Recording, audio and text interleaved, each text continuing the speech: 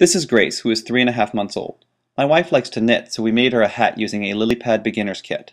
The front of the hat has five rows of five LEDs. The back has an RGB LED, a light sensor, a button, and a piezo buzzer.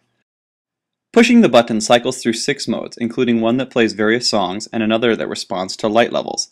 The last open space is where we'd like to add a microphone so the lights respond to music as well.